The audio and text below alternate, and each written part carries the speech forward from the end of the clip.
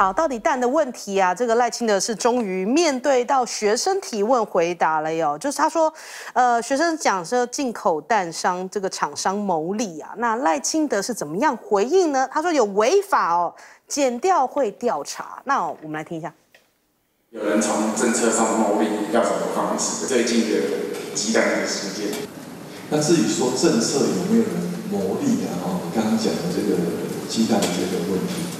这个检调单位在查，看起来这个啊对外采购鸡蛋的政策，社会上没有认为是错的。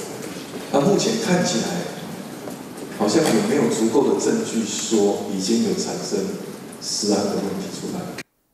好，所以呢，其实他等于有回答也没怎么回答嘛。那其实很奇怪啊，你既然也认为说，哎，这个有进口的蛋商在牟利，那不知道这一阵子侧翼在出征什么耶？你赖清德都这么说了，那我们质疑不行吗？我们质疑通通都要讲说，哦，都是蓝白害的。这现在哦，进口蛋的政策啊，现在要涨价了。那你赖清德说又怎么回事呢？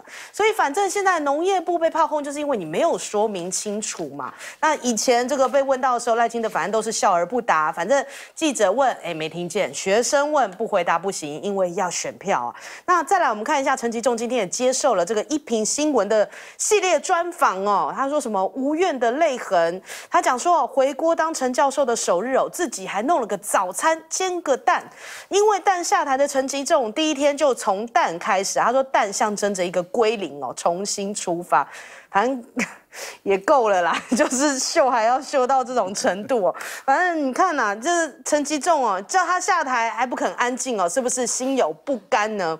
那你看张顺贵讲说啊，郑文灿就是叫这个陈吉仲走人呐，所以就是赖系人马叫这个英系的陈吉仲走哦，因为这个非英系嘛，他没有靠山嘛，在现在赖系当道的情况之下，下台之后要赶快喊冤哦。那对比你看林志坚退选呐，或者是这个陈忠业下。台之后，A 都安安静静的，陈吉仲，哎，现在还不甘寂寞。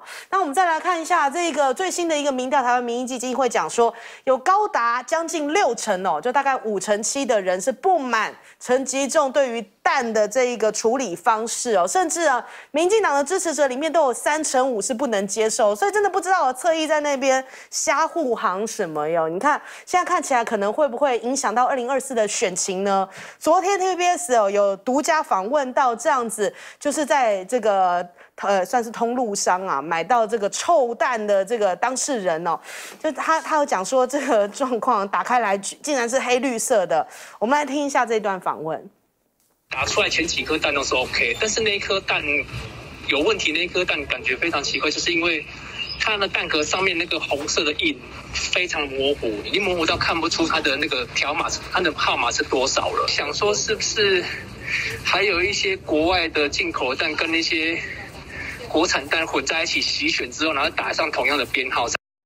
对他说呢，其实他是九月十八号的发票哦，但是那个这个超市呢，九月十二号现在已经是下架了这个进口蛋，所以不知道为什么买到这个台农洗选蛋还是这样子黑色的。那 PTT 网友在那边讲说，绿色就是民主啦，台湾价值的蛋回来了，所以我们不要觉得吃到是臭的哦，再臭都是一种民主啊，再臭都是一种自由的滋味嘛。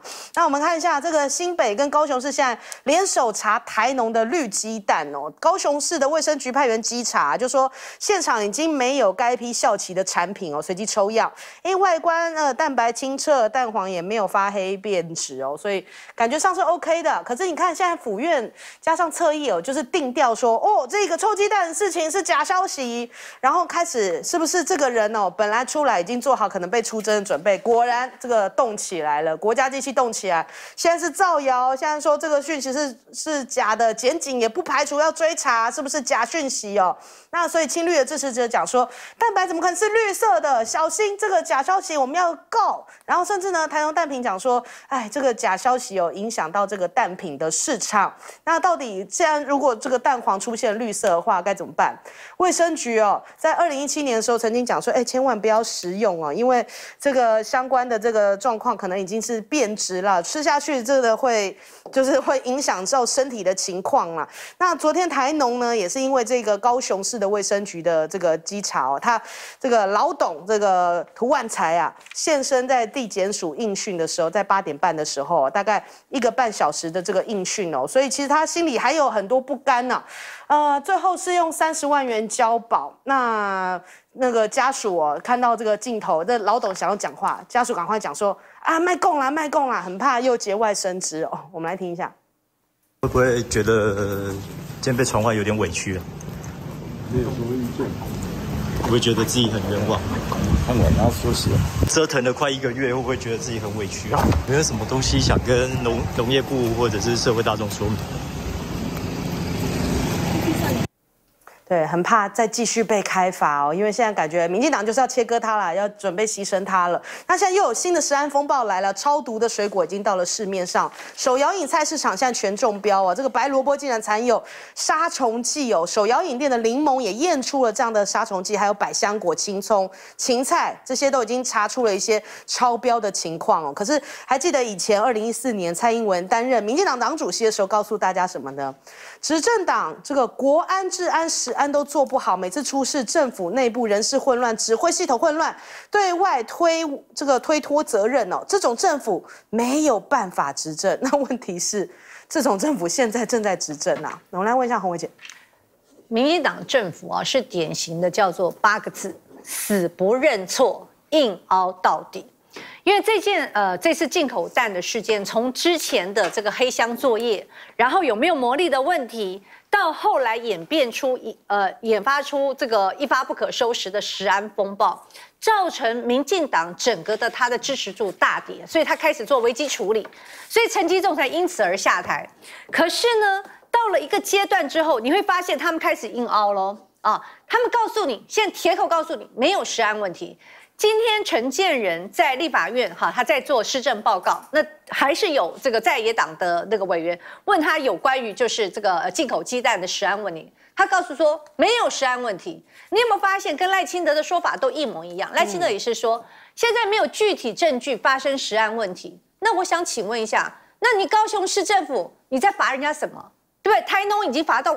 超过一千万嘞！对，你看刚才对不对？一个八十三岁的那个涂万才哈，就是这个台东市民，他后来不是讲说啊，我今天这个所有的那个方式都是政府告诉我的啊，啊，我没有办法接受罚那么多，结果高雄市政府一直罚，一直罚，罚了超过一千万，然后减掉呢，也一直开始就夜间也询问。那我请问一下，如果按照陈建仁、按照赖清德所讲的，没有食安问题，你在罚什么？你在你在约询人家什么？你到底是打脸陈其迈还是打脸你自己？所以他们就是硬凹到底，因为他现在把它凹回来，说哦没有食安风暴。所以按照这样的逻辑，第一个他不讲进口政策没有问题呀，有什么问题？大家都很诚，都觉得应该要进口啊。魔力没有魔力问题啊，超市有时机啊，我们我们给他一点问题都没有啊。食安食安没有问题啊，这个这个标示也没有什么食安问题。啊，通通没有问题。请问一下，陈吉仲为什么要下台？嗯，哦，对，陈吉仲难怪嘛，他觉得很，觉得很很冤枉嘛，对他很冤枉。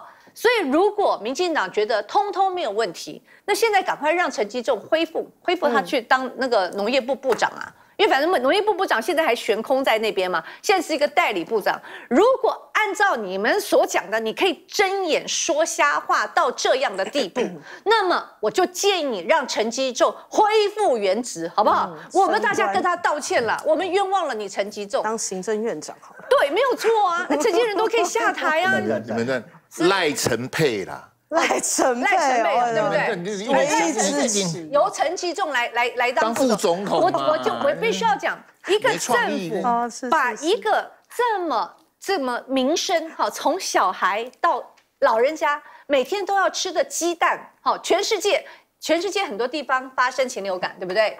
全世界也有发生很多蛋价上涨的问题，对不对？请问一下，全世界哪一个国家像台湾把我们饿成这，呃，饿整成这个样子？哎，然后大家现在看，竟然会有一个绿鸡蛋，有台湾价值鸡蛋，然后就开始怎么样呢？带风向检讨受害者，这就是民进党的死不认错、硬凹到底啊！所以就谎话讲久了，自己都忍不住相信自己是无辜的了，这种感觉。来，慧文哥，诶。翟轩，我不知道你记不记得那个老板不是说农业部如果怎样，我要找律师去告农对啊业。对啊啊，你们你们可以给他狗，啊，你们你们开开开勇敢没？就他前一阵子不是出国吗？对哎，我也很难想象，就以前我们跑这种的，一定是限制出境的，怎么还可以出国？现在法律都改了，都没有人通知我，奇奇怪，还可以他他要出国还回来了，他还回来。顶薪都委屈了。嘿，如果我我出去我就不回来了，你看还还回来，这奇怪怪。这个翟轩，你刚刚给我们看那个东海大学，就是赖赖赖清德到这个学生座谈这个哈，我很有意见呐、我请问东海的同学啊，不然换换你来换你来当名嘴好了。那你们有有机会问赖清德，我们都没有机会问啊。嗯，那跑民进党的记者，跑总统府的记者，你们在干嘛呢？那同学可以举手提问，赖清德还不能不回答，他还不得不虚伪一下讲一下。我我觉得这个很奇怪哈，我给大家看今天这个这个《自由时报》讲说哈，诶，我最我也不知道是谁哈，青蓝的名嘴哈，说要喊进口这个大陆的蛋哈啊，什么无视疫区啦什么哈，这《自由时报》又开始抗中保台，连蛋都要抗中保台哈。我我我请问大家哈，这个禽流感哈，全世界有多少国家有禽流感？一堆啊。好，我们也有啊，不然我们的蛋也不会出问题哈。那我也请问《自由时报》，我们有两百万的台商在大陆啊，请问他们吃什么蛋？对不对？我们之前那个那个口蹄疫拔针啊，因为我们台湾有口蹄疫二十几年了、啊。嗯，请问台湾有口蹄疫二十几年之后，我们吃的是什么猪？我们是吃那个伊比利猪，那个很贵啊。我们吃的不都是台湾猪吗？嗯，对不对？那那我觉得很奇怪，为什么这个时候，其实我们当初。一两年前缺蛋的时候，就有人讲说，那为什么不跟大陆买蛋呢？嗯，对不对？大陆我们十四亿同胞吃的蛋，我们为什么不能吃？啊，他们吃都没问题呢，我我们就不能吃，那不是很奇怪吗？官们，你知道吗？大陆的同胞他们是吃不到来猪的，他们有钱也买买不到来猪，哎，他们也不能吃日本的和食啊，他们很可怜，买不到啊。那我们呢？我们可以吃美国的来猪，我们也可以吃日本的和食。然后蔡政府说我们很保护我们的这个食安，我觉得很奇怪啊。就是蔡总统，你执政了七年多，翟轩，我的我的意思说，我们谁都可以输，我们不能输大陆啊。那你不是跟我说全世界都缺蛋吗？我怎么看他们都，因为我都在监看他们的视频，他们都没有缺蛋啊。超小厨有缺蛋吗？刘委员有缺蛋吗？胖龙他们每天煮饭都有蛋，我看你你你你你们怎么都那么多，我们都没有蛋。很奇怪啊！我觉得民进党根本就弄说，你不要再骗大家的，不是全世界都缺蛋，不然你你怎么有办法从巴西、泰国、土耳其买单过来？他们就没缺，大陆也没缺但，美国也没缺啦、人家是短时间有缺，很快就调节回来的。那我们为什么调节不回来？那你你现在告诉我说都有黑市的蛋排跑去挖枪猛民进动，你是不会去抓人吗？你就躲在那个早餐店，躲在那个那个那个蛋糕店旁边，看那个黑市的蛋送，我就把他抓起来，说你为什么卖黑市？你一个都没抓到啊！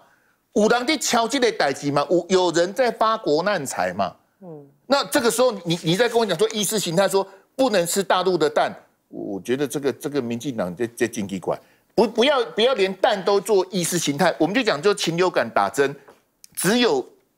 其实我们当时陈吉仲他还妥协的，陈吉仲他一度妥协说，是不是我们要打针，这些东西都可以讨论，但是现在没有理性讨论空间，很像民进党就说我们如果跟大陆买蛋，我们就输了，是这样子吗？其实是民进党自己这个连最基本的蛋的东西，他都没有办法处理啊。嗯，好，何老师，哎，这个蔡英文说什么？执政党国安、治安、食安都做不好。呃，这不就他们自己吗？哦，每次出事政府内部人事混乱，对外推脱责任，这种政府没办法执政啊，不就在说蔡英文政府吗？啊，各位，你们知道蔡英文政府哦，他任用人有几个原则哦？首先，专业不是考量，专业真的不重要，重要大概有两个，至少有一个条件啦哦。第一个是要不然就是会选举，要不然呢哦就是。有关系啊，包括像我们刚刚看到王美花等等哦，都是这样的一个情况嘛。哦，整个民进党政府它的任用人都是靠这样哦，一定要从选举还有关系、人际关系、裙带关系考量。你看哦，现在陈吉仲这样刚下台，出了包下台，第一件事在干什么？哎，又开始造神了哦，什么一大早自己早餐弄个蛋啊，然 后很了不起啊，然后陈吉仲眼泪之前那么委屈，哎，各位有没有觉得似曾相识啊？Deja vu 哦，既视感。很像之前呢，二零一八的时候帮吴英明造神，然后去年呢又帮陈时中哦这样造神。那我看这个陈吉仲应该是要恭喜他的啦，我觉得不分区哦，应该是绝对会有啦。我看这个情况已经开始造神了嘛哦，所以你看到民进党第一个是选举考量，第二个哦 专业不重要哦，出了事情什么呢哦？第第一个先去洗哦洗形象，把它洗到大家都忘记出过什么事情。那另外呢人际关系，你看呢？陈吉仲不就有例子吗？哦，大家说小英男孩，蔡英文很喜欢的这个陈吉仲哦，就可以拖很久。那之前大家也还记得哦，像那个小英女孩那个 class 圣母峰也是这样啊，酒驾被爆出来了。没有关系哦，只要蔡英文喜欢力挺，然后帮他去洗形象啊，还去很恶心的洗什么？那是为了苦大使要选花莲县长，还去洗说很多人去种族歧视攻击苦大使的原住民身份。哎，我真的看了半天，我还没有看到到底谁在攻击苦大使的那个形象啊。呃，更何况国民党不可能啊，因为原住民是国民党的优势哦，优势铁票区，国民党怎么会攻击这个？哦，都一直在自己这样玩。靠关系的例子太多了啊，包括我们的王美花，包括你知道那个哦，行政院经贸谈判的那个政务委员邓正松也是哦，二零两呃两千年帮蔡英文在美国开过车哦，蔡英文用人就是这样，靠关系哦，会选举，专业不重要，就是这样的羞辱专业。嗯，好，我们先休息一下，广州忙回来。